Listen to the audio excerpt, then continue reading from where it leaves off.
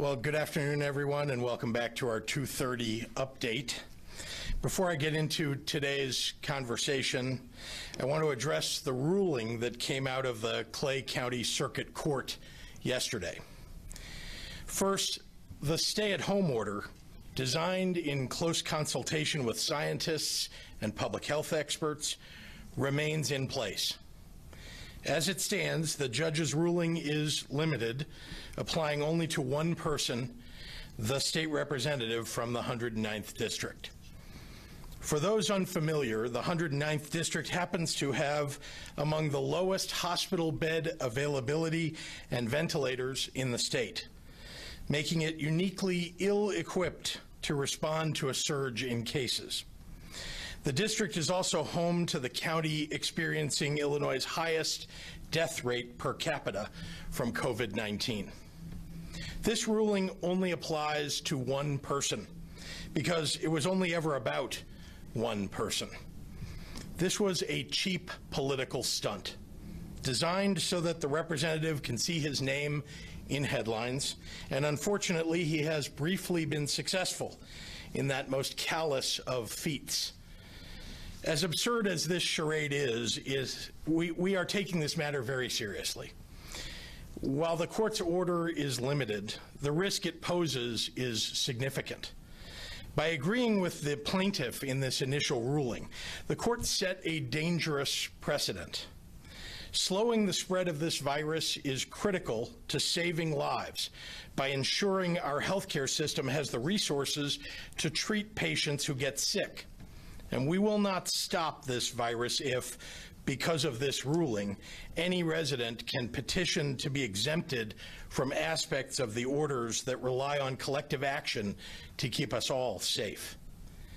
Because of the threat to public health from this court order and the fact that the state has acted well within its legal authority to protect the health of the public, the state is appealing immediately.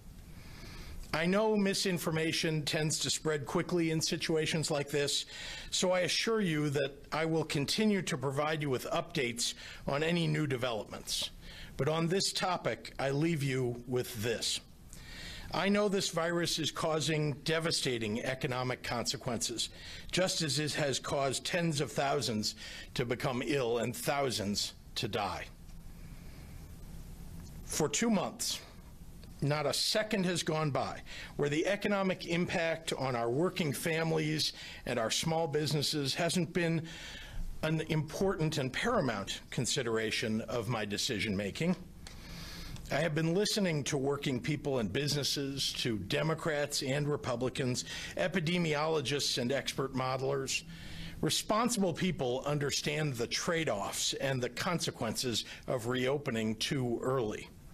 So I will continue to listen and to act in a responsible fashion so we can all get back to work and school and move toward normal in a way that will keep our families healthy and safe. Let me remind everyone again, the stay-at-home order in Illinois is still very much in effect. All of us must maintain social distancing, wear masks in public, and keep non-essential businesses closed until we can lower our still increasing hospitalizations and lower our ICU bed use. The danger has not passed yet, no matter whether you live in Little Egypt or in Freeport or in Quincy or in Chicago. We are making much of progress and much of the progress that we had hoped to make. And we will not let one irresponsible state representative deter us from success.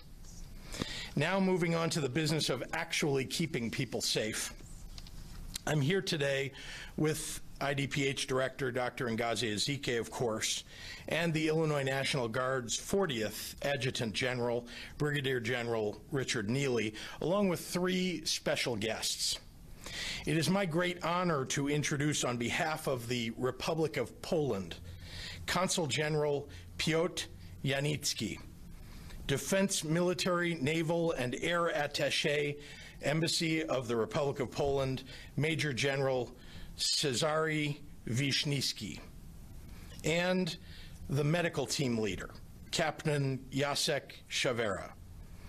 This morning, General Neely and I joined the Polish medical delegation who arrived here in Illinois to assist with our COVID 19 response on Thursday, April 23rd, in visiting our Illinois National Guard operations at our drive through testing site in Harwood Heights.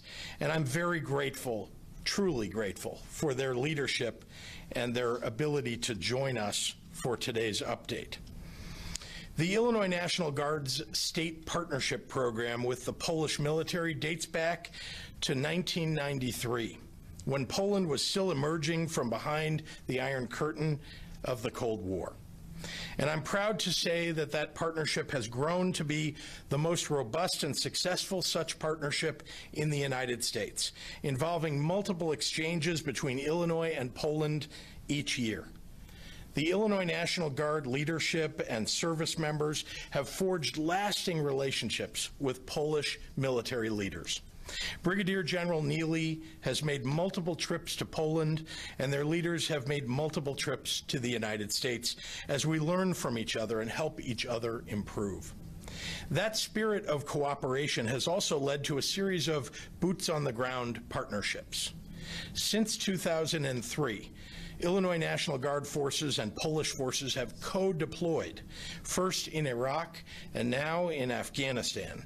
And I'll add that our Illinois Emergency Management Director, Brigadier General Alicia Tate Nadeau, actually co-deployed with Polish forces in Iraq as a part of one such mission. And just as we fought together in Iraq and Afghanistan, the Illinois National Guard and our longtime partners and friends in the Polish military have joined together once more in a fight against the global enemy of COVID 19. This is an exchange that represents the very best of humanity. Medical experts from different parts of the world coming together to save as many lives as possible no matter where they call home.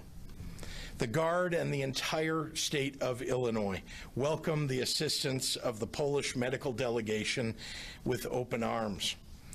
These nine members, four doctors, three nurses, one EMT, and one logistical coordinator, bring with them their experience fighting COVID 19 on the ground in Italy and Poland, which they now can exchange with the Illinois medical community so that everyone, both here in Illinois and thousands of miles away in Poland, is operating with the best practices to save lives. Since mid March, the Illinois National Guard has provided vital capabilities to our state COVID 19 response. Currently, there are about 1,120 Illinois National Guard service members deployed throughout the state of Illinois on COVID related missions. So, what does this look like on the ground? Well, a prime example these individuals have set up and continue to operate our five state-run community-based drive-through testing sites in Aurora, in Bloomington, Chicago, Markham, and Rockford, with more sites coming online in the near future. In a matter of days, the Guard takes what was just an empty parking lot or an old facility and sets up a testing site capable of serving hundreds of Illinoisans per day safely and efficiently.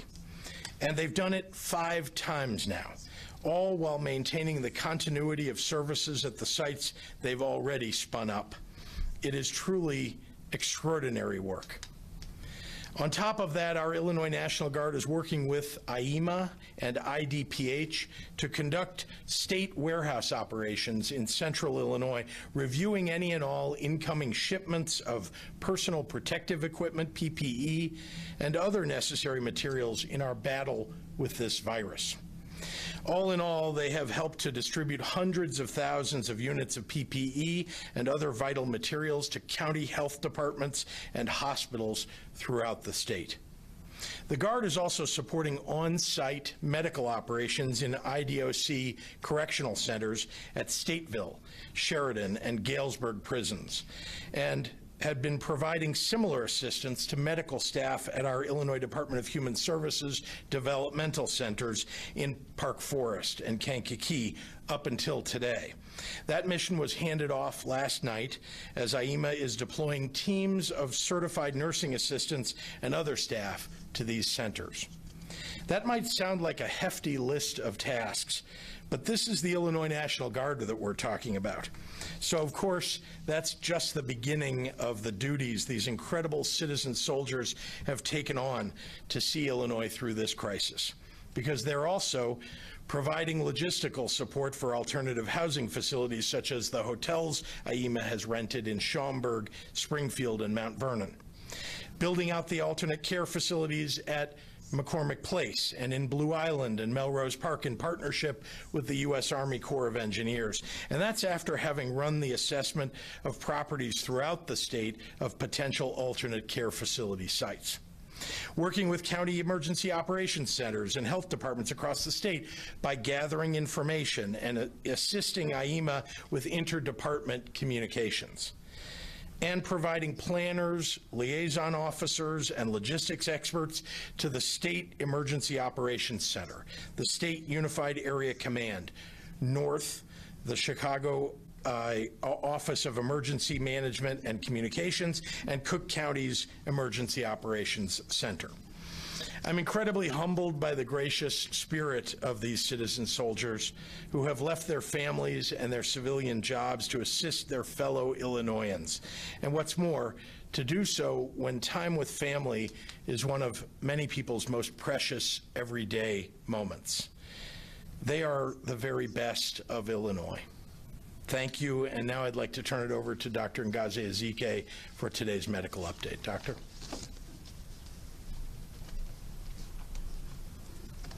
Thank you, Governor. It's an honor to be here with our governor, of course, and Brigadier General Neely, and also our Polish delegation, Dzień dobry. Uh, unfortunately, I also have to report that today we have surpassed 2,000 deaths here in Illinois, and we've seen the greatest one-day increase in fatalities thus far. Over the last 24 hours, 144 additional individuals with COVID 19 have passed, bringing our total to 2,125 individuals.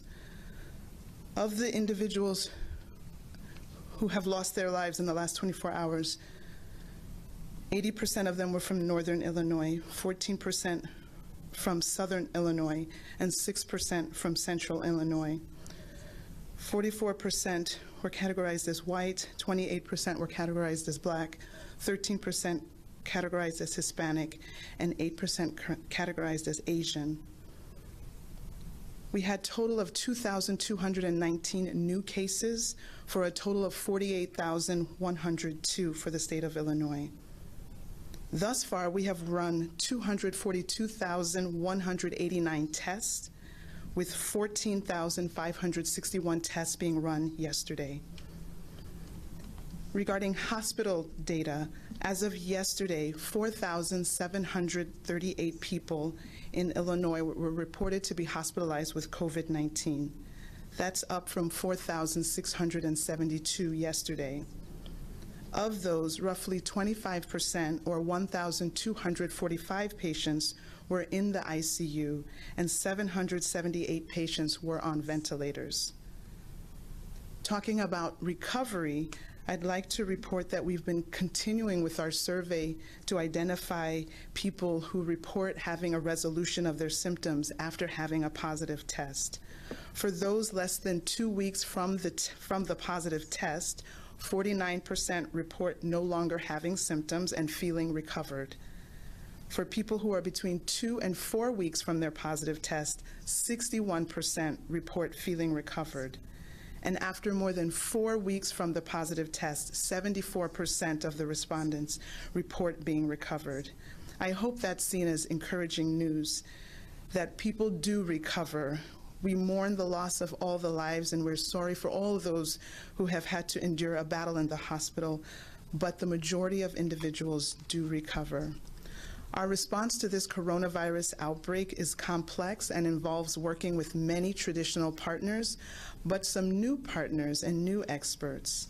I thank Governor Pritzker for his ongoing efforts and for leading by example as he ensures that Illinois is unified in this battle against COVID 19. We are working very closely with health and hospital systems, local health departments, long term care facilities, as well as our sister agencies the Illinois Emergency Management Agency, the State Police, the Department of Human Services, the Department of Corrections, the Illinois National Guard, and many more.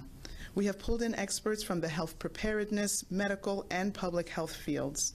And we have wonderful new partners like our Polish delegation joining us today. And after my brief remarks in Spanish, I will turn it over to Brigadier General Neely. Buenos tardes y gracias, gobernador. Seré breve hoy para que podamos oír a nuestros invitados hoy. Lamento reportar hoy que hemos superpasado los mil muertes aquí en Illinois y estamos viendo el aumento más grande en muertes hasta la fecha. Desde ayer, 148 personas más con COVID han muerto para un total de 2.125 muertes. También reportamos 2.229 casos nuevos de COVID-19 para un total de 48.102 casos en el estado de Illinois. Se han procesado 242.189 pruebas de COVID-19 en Illinois y de ellas 14.561 se procesaron ayer. Ayer se reportaron 4.738 hospitalizaciones de personas con COVID-19. Aproximadamente un cuarto de ellas, 1.245 pacientes, estaban en uni unidades de cuidado intensivo y había 778 pacientes conectados a un respirador. También me gustaría reportar las recuperaciones de los casos que se reportaron a IDPH en las últimas dos semanas, el 49% reportó que ya no tienen síntomas y se, sienten, se sienten uh, recuperados. El 61% de casos que se reportaron a IDPH de dos a cuatro semanas atrás se reportaron recuperados y el 74% de los casos que se reportaron hace más de cuatro semanas reportaron que se sentían recuperados. Estas son noticias alentadoras. Nuestra respuesta al brote de coronavirus es compleja Incluye trabajar junto a varios socios tra tradicionales, pero también con algunos expertos y socios no tradicionales. Estamos trabajando con los sistemas de salud y de hospitales, departamentos locales de salud, facilidades de cuidado a largo término y también con nuestras agencias hermanas. Hemos traído expertos de preparaciones para la sanidad pública, médicos y expertos en otros campos de salud. También hay otros de quienes podemos aprender como la delegación de Polonia, quien nos acompaña hoy. Y ahora le entrego el podio a Richard Neely, ayudante general de la Guardia Nacional. And now I will turn it over to Brigadier General Neely of the Illinois National Guard. Thank you, Doctor. Good afternoon, Dzień dobry to my Polish delegation and our Polish friends gathering with us online. Thank you, Governor, again for the invitation to join you today. And on behalf of the 13,000 guardsmen and women, thank you for your kind words, your phenomenal leadership and support of the Illinois National Guard, sir. Like you, I am tremendously proud of the men and women of the Illinois National Guard and their response to this pandemic. As you know, they are a capable force of soldiers and airmen who are proud to serve, but humble in their actions. The Illinois National Guard live throughout the state and yet deploy all around the world to fight our nation's wars. Currently, we have over a thousand members deployed across the globe. We also deploy throughout the state to support the citizens of Illinois when called upon, much like we did this last summer during the historic flooding in both the south and west part of the state, and in this response right now to COVID-19. As the governor stated earlier, currently we have about 1,100, a little more than 1,100 of our guardsmen deployed throughout the state supporting this response to the pandemic. As a part of the response, today it is a great honor to recognize the generosity of the Republic of Poland and President Duda for sending the medical team to the U.S. and im- most importantly, sending it here into Chicago and to share their expertise and experience with us. As highlighted by the governor, this team is made up of military and civilians, doctors, nurses, and EMTs. Not only has the team been in- very involved with the response to the COVID-19 throughout Poland, but also throughout Europe as they deployed to Italy to support that response as well. This type of support is a testament to the 26, almost 27-year relationship between the Illinois National Guard and the Polish military through the State Partnership Program. The Department of Defense, in cooperation with the State Department, established this relationship between the Illinois National Guard and the Polish military through the State Partnership Program in 1993. Illinois had one of the very first programs in the National Guard, and as I stated, as, as well as the governor, we believe the best because the incredible partnership built between the Republic of Poland. Over these almost 27 years, the Illinois National Guard has had more than 400 training events with the Polish military, including exercises, leadership exchanges and engagements, and integration of major weapon, weapon systems, such as the F-16 and C-130 aircraft that the Illinois National Guard has flown.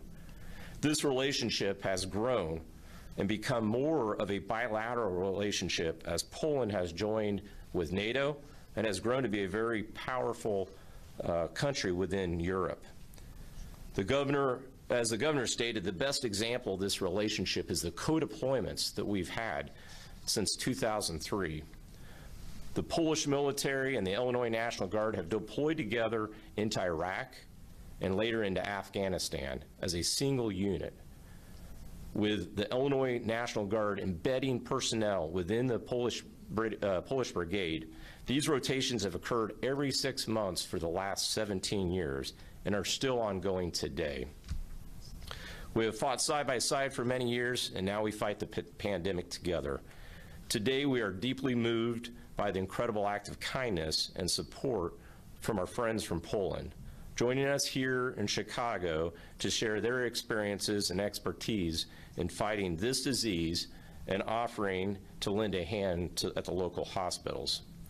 Also, a big thank you to the Consulate General for his incredible assistance to help with this event in Chicago. And thank you to our Polish Defense Attaché, Major General Wisniewski, for his direct engagement with the Polish military to coordinate this visit. As the only state to have this type of cooperation, I'm very proud of the Illinois relationship with the country of Poland. Thank you again, and I will be followed by the Consulate General.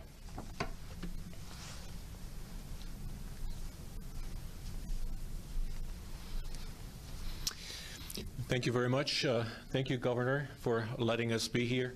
Uh, Thank you for your leadership. Uh, uh, Thank you for your leadership as well. Uh, General Neely, it is my great pleasure to uh, be here.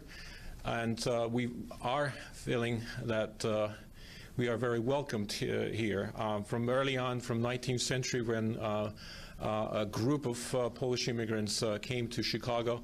They start building this city. They start building this uh, state. And look around, uh, Chicago is uh, great. And now we are facing uh, a great challenge. We have to fight uh, coronavirus, and uh, I cannot imagine a, um, a better place uh, for military um, um, personnel from Poland uh, than Chicago to come and help. Uh, we want to be here. We want to share our expertise. We would like to um, also exchange uh, what we've learned somewhere else. Um, a, a lot of those uh, doctors who came here, um, they uh, were previously uh, deployed to uh, northern Italy, where they were facing very similar ch- challenges. Um, there's no, no surprise that we want to be here because uh, Chicago is the most American of all the American cities, but it also happens to be uh, the most Polish uh, of all the American cities. Um, about uh, 8% of all the Illinoisans are of Polish descent. Uh, among them are people who are suffer because of this uh, disaster. Um, so we are here to prevent the coronavirus from spreading, and we are hoping that uh, the efforts of the medical personnel will help with those uh, efforts. Um, among uh, those skilled doctors that are uh, visiting from Poland are famous uh, cardiologists, uh, famous anesthesiologists. So we are also helping hands-on, not just sharing our expertise. And I know Illinois is under uh, huge uh, uh, pressure, like uh, the rest of the country, um, because uh, now the pandemic is spreading um, throughout uh, United States. Thank you again for your leadership. Thank you for allowing us to to be here. And if there is a chance to help, Polish military is famous to join. And we are face to fight, and we are also first to come and help. Thank you. And at this point, I would like to give the podium back to Governor Pritzker. Thank you very much, Bute. Thank you very much, Consul General, and um, I'd be happy to answer any questions. I guess that would be for me, Governor. Um, I have a whole ton of them from the, uh, my colleagues out there. Um, Greg Bishop from Center Square says, uh, State Rep Darren Bailey says local health departments are the authority to decide quarantine situations, so there's due process with those affected. Why isn't that the way that this should be handled instead of the statewide approach? Um, Local health departments certainly have lots of authority. They can, uh, they can put in more stringent uh, rules than the state does. That's certainly true. Uh, But the state of Illinois has a uh, Public Health Act uh, and has an Emergency Management Act that allows us to protect all of the people of the state, um, thinking about every region of the state, which I am and we are. Tahman Bradley, WGN asks uh, if you can explain the Department of Public Health's quarantine authority, and will you now turn to those powers giving the judges temporary restraining order, if you believe you need to? Well, we're not, there is no quarantine authority that's being exercised here. There's a stay-at-home order. There are executive orders that are in, in, uh, in place uh, to effectuate the protection of all of our citizens. Um, I'm not sure what the, if there was some other point to the question. Well, I I think what he was speaking of, uh, the judge's ruling yesterday said in essence, by limiting people to what they can go outside and do, so you you can go to the grocery store, but you can't go fishing, that is in effect a quarantine on, in the ruling, Representative Darren Bailey. You don't believe this applies at all in that regard, is what you're saying? Well, what I know is that our, our you know, we, it's called a stay-at-home order. There is no mandate that people have to stay quarantined in their home. That's not what a, the stay-at-home order says. Um, that's the name of the order, but the order, in fact, says that uh, we're, you know, designed to protect families and individuals all across the state, um, following guidelines from our federal Homeland Security Department, um, where we've essentially authorized essential businesses to keep operating, but we've asked non-essential businesses uh, to close, and we've asked people to wear masks, and we've asked people to uh, to make sure and protect each other uh, across the state by uh, keeping social distancing norms. Uh, And that's all of what those orders are about.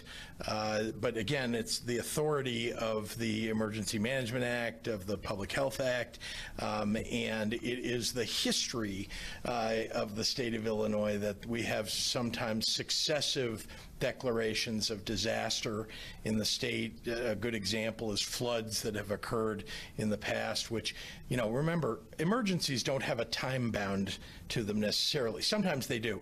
A tornado can come and go, and the emergency can be, you know, declared and has a time bound to it. Floods tend not to. Pandemics, which we haven't experienced in Illinois for 100 years, uh, pandemics don't live by a 30-day time frame.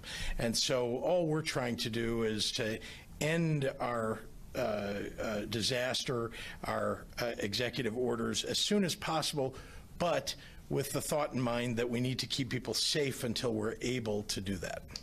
To that point, uh, Tom DeVore, who represents Darren Bailey, uh, told me today that just because there have been continuing proclamations in the past that have never been challenged in court doesn't set precedent for the court to accept that as a legal exercise of authority. Can you respond to that? All I would say is he should read the statute. The statute allows the governor to declare uh, an emergency uh, for 30 days at a time. Um, and if the there is a an emergency that occurs, uh, you know, this emergency declaration goes till April 30th. I'm not sure what he's suggesting, but on May 1, if there is an emergency on May 1, then it is the authority of the governor to declare an emergency as a disaster proclamation on May 1 for 30 days. Um, but but look, let's not get into the uh, you know the the uh, back and forth. Here's the facts. We are defeating this virus by virtue of having a stay-at-home order. Um, you will you can hear from Dr. Ezike and others that there would have been thousands more deaths in the state, and there will be thousands of deaths if this executive order is not allowed to proceed on May 1 uh, through May 30th. Um, so, I, I, you know, all I can say is that it is the height of recklessness that uh, that attorney and his client uh, have gone ahead and challenged the idea that we're in the middle of an emergency. Remember, Donald Trump, the President of the United States, uh, has declared a national emergency. We are uh, one of the United States, and uh, we too have declared a disaster. Just one follow-up, and then I'll move on to the other questions, because it appears we're going to have a second lawsuit filed by a Republican uh, uh, Representative uh, Cabello. It's similar claims. I don't know, I haven't seen it yet, but we're told that's going to happen today. So now we have a second Republican from upstate challenging this. Do you have a concern that this is going to have a snowball effect and that there's going to be a lot more lawsuits challenging this? And is this going to go to the Supreme Court eventually? Well, it appears to me to be some partisan endeavor, um, and I, at a moment when, frankly, political parties shouldn't matter at all. Um, we should be focused on simply doing what's best for our people, keeping them safe and healthy. Um, but I, I, don't know. Certainly, people have the ability. Anybody has the ability to go to court. Um, but I know that uh, we have uh, we have appealed this. Uh, ruling uh, in Clay County in the local court, circuit court in Clay County. It's been appealed, um, and our hope is that, the, and it's, you know, the Supreme Court's been asked to take up the matter, and so, you know, my hope is that we can move swiftly just to move this out of the way, because we have so much to do. We have so much to do to keep people safe, and wasting our time and effort on these ridiculous lawsuits is something that I think is just, it's, it's, it's something that we shouldn't have to do, and, and shameful acts on the parts of these uh, partisan actors. Moving on to some other things, Dana Rebik from WGN uh, is hoping you could comment on the City View Multi-Care Center in Cicero, where there are 163 residents and 30 staff who have tested positive, five deaths.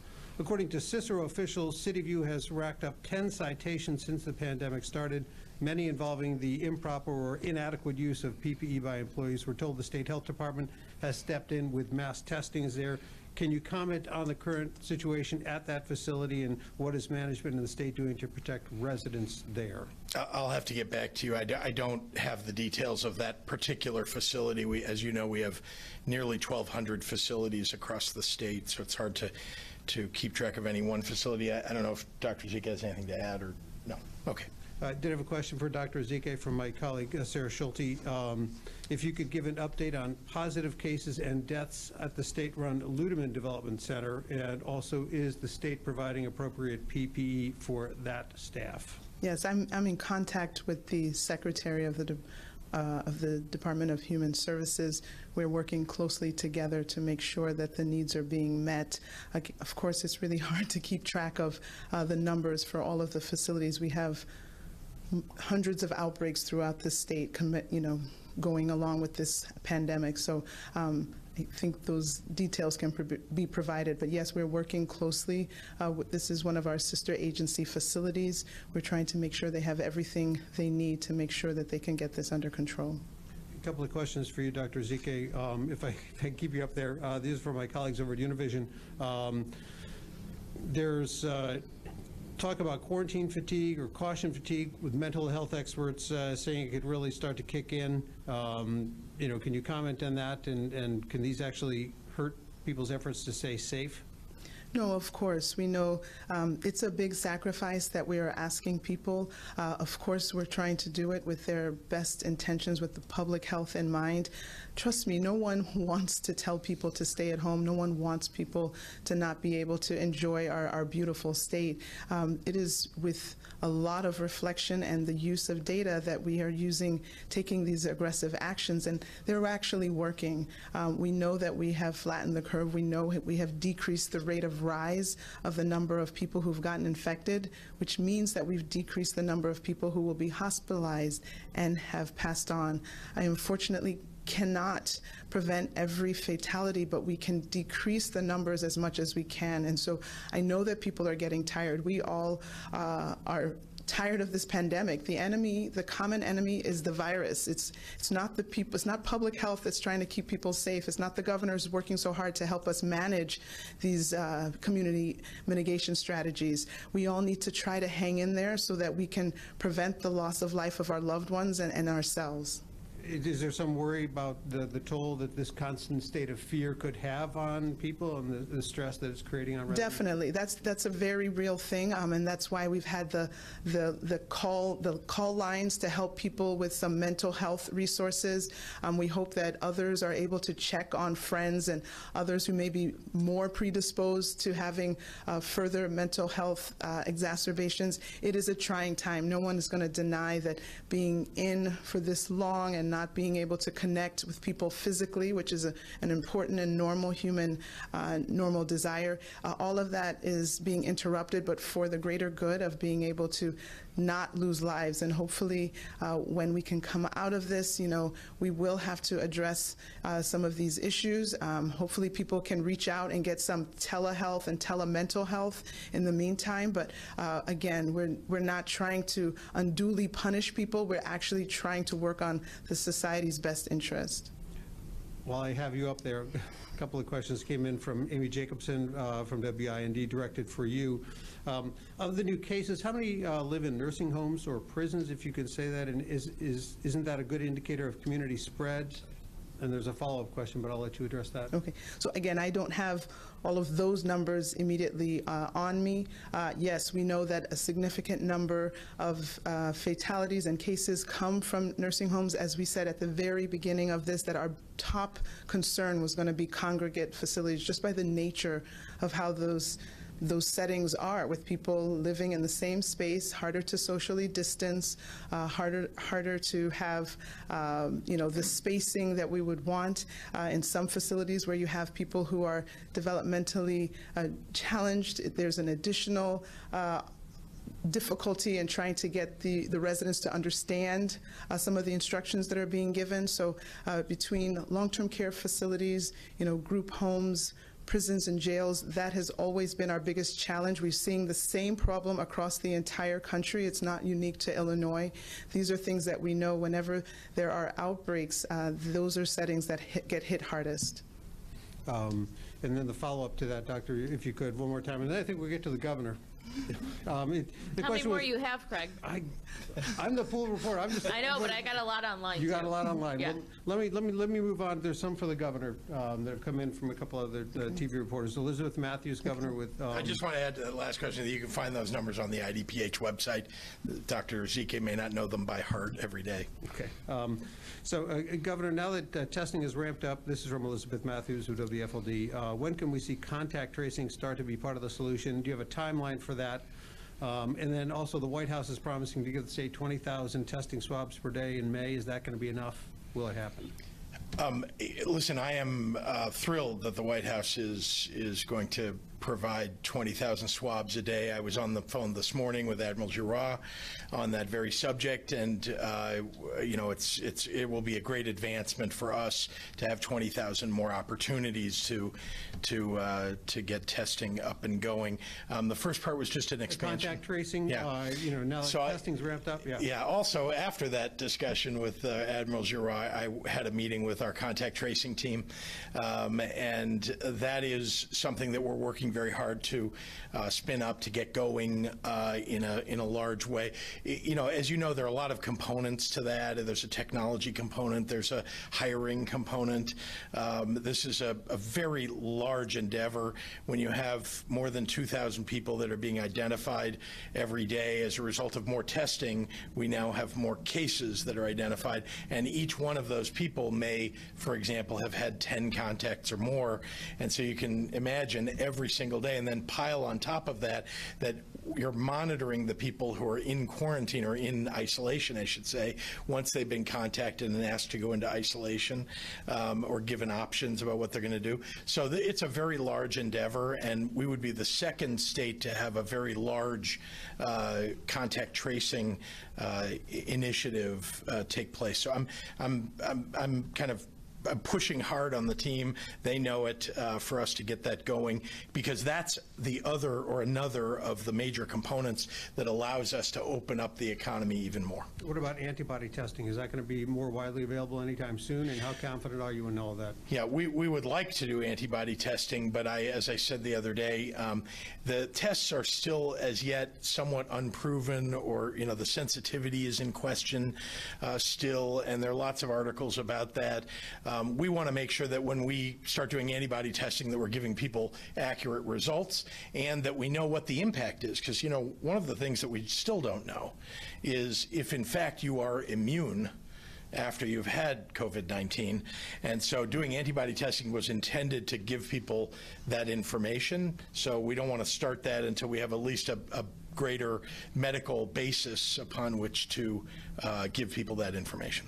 I had two more, and then I will pass the, the microphone over. This is from John O'Connor with the AP. Um, He says, regarding your comments yesterday on the Bailey lawsuit, are you really that contemptuous of the judiciary or the right of citizens or even a legislator to go to court to challenge an executive's power in this country? You said that Bailey is grandstanding. Isn't that what you were doing when you called him reckless and said his actions would make people sick? Okay, that's just a ridiculous question. I, I'm not even sure how to answer it. No, I know. I'm, I'm responding to, to Mr. O'Connor. Um, uh, the, first of all, I have great respect for the judiciary. Uh, second of all, I absolutely think it's people's right to go to court. Um, third of all, what I'm calling reckless is the idea and the contention that's been made by this state representative that uh, somehow uh, we're intending to limit people's civil liberties or that we're intending uh, to take away people's rights. That's not the intention here. The intention, in fact, is to save people's lives. Uh, so it is reckless uh, in the extreme for a state representative who should know better to, uh, to bring a lawsuit like that, uh, that he knows might have a terrible effect on the health and safety of people all across the state. That's what's reckless. He, he should be more responsible than that. Anybody can go to court. Absolutely, anybody can go to court. But the fact that he took that uh, case to court uh, and that he was the plaintiff in that case, uh, that he's the one giving, uh, you know, interviews about why, uh, you know, people's rights have been taken away and, and claiming somehow that this is unconstitutional. I mean, he should know better. He should read the statutes. That's what he should do. Final question. Uh, Amanda Vinicki with TGW, and I assume this uh, applies to the lawsuit. Uh, What is the Department of Public Health going to do in the event that the state loses in this lawsuit? Uh, And do local health departments have the capacity to, to deal with the situation? The uh, Public Health Act actually gives us most of the authority to, um, to, to make sure that those restrictions are in place. Um, Other aspects of the law give us other uh, powers too. So, um, so it would be, you know, somewhat, um, I, I mean, it's hard to speculate exactly uh, whether or not uh, this case would go anywhere else. Uh, I do not believe that the courts uh, will allow this ruling to stand, and I do believe that the courts will overturn it. Kelly at Block Club. Uh, it is illegal to sell pre-mixed cocktails to go in Chicago, but bar owners say they need those sales to survive. Lightfoot said it's a state issue. Are you considering pushing to make it legal? I don't know that it's a state issue. I haven't thought about mixed drinks being served at the curb, but I'm happy to look into it. Uh, Andrew Davis from the Windy City Times. The FDA recently reduced the time for blood donations from gay and bisexual men from a year to three months. Is there a movement from governors to totally eliminate this ban, given how badly blood donations are needed? Yeah, this is something the federal government has imposed. That's not something that I would support uh, as a governor, but unfortunately, this is a federal law. Shia Politico, Governor, to what extent is COVID-19 dividing the state? Has increased partisan has it increased partisan divide? Um, I think there was a poll yesterday that showed that the vast majority of people in the state support, whether they're Democrats or Republicans, support the stay-at-home order. Um, and uh, so I, I, I don't think it's there's a partisan divide. I do think that there are a few people who are trying to take political advantage at the moment in the middle of the pandemic that is killing people. They're politicizing it. Jim Leach at WMAY, Governor, you've extended sales tax deadlines for bars and restaurants. Are similar accommodations in the works for other businesses? Is, are other businesses tax relief options on the table?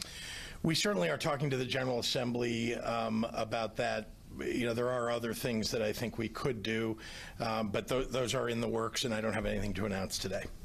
Uh, Jim Haggerty has a question for Dr. Ezike. Can you talk briefly about how to safely wear a mask or face covering in public for people who may be worried about cross contamination? Uh, For the face coverings, uh, depending on uh, what it's made out of, it's usually recommended that it be washed every day. So if someone has had the ability to make one, maybe if they ma- could make a couple so that they could be uh, recycled uh, while they're being washed, you could use the second one or the third one. Um, Regarding our, you know, whether it's a N95 mask, I have seen uh, individuals in public with those, and I just want to caution that those are um, supposed to have, be be accompanied by a medical screening uh, and an appropriate fit test so that you make sure you see you're using the right size to make sure that it doesn't have leaks and so that it's actually effective. And so when those are used uh, without the proper uh, fit testing and medical screening, for instance, it shouldn't be worn with a beard or excessive facial hair, and the wrong size could not give you the protection that's uh, anticipated. So there are specific rules around that. Um, regarding uh, maybe the surgical mask, uh, uh, you would uh, make sure that it's, uh, if it's the straps, you put it around the ears. Obviously, if it's worn under your chin, it's not helping. If it's worn over just the mouth and not covering the nose, you're also uh, missing out on its effectiveness. And ideally, those uh, would be changed frequently. And be sure not to try to touch uh, too many surface of, surfaces of it without also washing your hands or hand sanitizing. Doctor, you could stay up there because there's another question about clarifying the pools and whether or not, why those are not open um, during the pandemic. Well, I, I think, um, you know, again, swimming and pools are a summer pastime that everyone would like to feel that they're back to normal and being able to enjoy the, the normal things of the summer. Um, again, we, we're still learning a lot about this virus, uh, but in terms of pools in general, we know that the the settings of pools, whether it's public pools or private pools, usually involves mass gatherings almost by definition. Uh, lots of people congregating together, whether in the water or poolside. Um, so there are for many reasons that we probably need to get to a certain uh, point in our uh, epidemiologic curve before we could probably consider that. Ryan from WGLT in Bloomington. Our state-run drive-up testing site is still underutilized in Bloomington, averaging about 100 people per day and capacity is 250. Asymptomatic workers supporting critical infrastructure are still not allowed to be tested there despite state guidance that says they should be. What's the holdup on loosening those restrictions there? Well, we, we have a limited number of tests and capability across the state, and so, you know, to the extent that, um, as we're focused today on uh, people who are symptomatic or are first responders and other essential workers, um, there, again, is still a limited number of tests available. Um, We would hope that more people would go to that site, but I do want to remind uh, the questioner that uh, actually in Bloomington, what we've seen is there are a lot of other sites that are available for people, and that is one of the reasons why people are not going to that site, um, is they, they have the ability to go to uh, other healthcare facilities that, that have testing available. Mark Maxwell wants to know what your backup plan is to continue to fight COVID-19 in the event the courts restrain your executive orders, which you've already mentioned, but he also has a second part. If it's not clear the law gives you the powers you feel you need, why not call an emergency session now? Yeah, I, I am reasonably confident that the, that the uh, uh, responsible members of the judiciary will, uh, will overrule uh, and overturn, rather, the ruling that came from this one judge. Cheryl Corley at NPR asks, Friday, Governor, you mentioned that an order for 30,000 isolation gowns had been made. What's the status of that order? And can Dr. Ezike talk about how hospitals are handling any shortage of gowns? Uh, I don't know the specific status of that order. We, we have lots of orders for millions of, of items of PPE, but it is true that the gowns are across the country uh, in shortage. Uh, so we've been very careful about the usage of gowns um, and uh, c- monitoring the availability of them in healthcare facilities and elsewhere where they're needed. But happy to turn the second part of that to. So, so we know that with this pandemic, we are uh, in in a stage where we have implemented like crisis care guidelines, and associated with crisis care guidelines means that you might have to use tactics that you don't usually use to make sure that you extend the resources, the limited resources that may be available. So.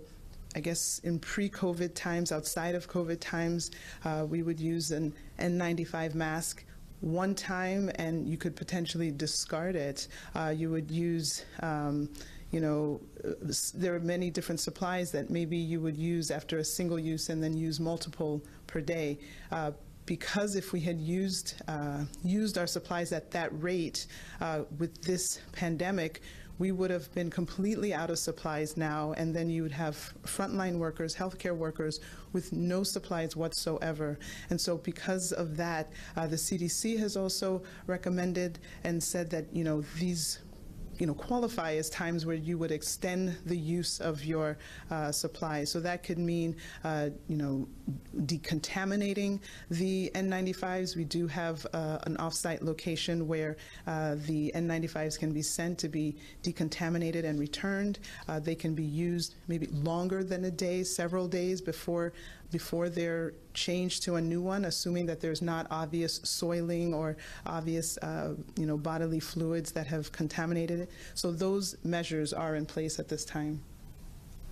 Samantha from Chalkbeat. Chicago released school level budgets today and they included a $125 million increase. With dire forecasts in other cities about school funding, are budget increases wise? I, I can't even answer the question because we don't yet know, uh, working with the legislature, whether we'll be able to increase education funding at all, but, but I, I hope that we will be. Okay. Dan Petrella will be our last question from the Tribune. Are you considering any additional duties for the Guard as part of the COVID response? In Connecticut, for example, Guard members are being deployed to aid with nursing home inspections. Is that something we could see here? Well, let me just begin by saying uh, to Dan Petrella that I read the piece that he posted uh, today about his aunt, the loss of his aunt, uh, and I just want to tell you how very sorry I am for your personal loss. Um, Absolutely, the National Guard has been tremendous. I mean, everything we've asked them to do, they've done uh, with a uh, just a, you know the execution has been amazing. Uh, they are excellent at everything that they do. We will be asking the National Guard to do new things. Um, it may be that we'll ask them to help us with nursing homes more than they already are. Uh, as you know, we've deployed them to prisons. We've deployed them to uh, testing sites. We've had them really in virtually everything that we're doing uh, in fighting this pandemic. They've been somehow involved, and so I'm, I, there's no doubt that we'll continue to use the National Guard. Uh, And I, I just, I- you know, I've said it many times, but I'm just so proud of these young men and women um, and their relationship with the, the Polish military, uh, which when I became governor, I learned so much more about. And I must say, it it gives, it's a point of real pride for the state of Illinois to have this kind of a relationship with the, the kind of excellent military operation of uh, Poland. And of course, because we have so many Polish uh, Americans uh, here in the city of Chicago, it's a great point of pride, especially for them. So thank you very much for everything that you're doing. Thank you, Consul General. And thank you all very much. Is any other questions? No. Nope. Thank you very much. Thanks for watching, and if you haven't already, please consider subscribing to our channel. And while you're at it, please leave us a comment. Thank you for watching.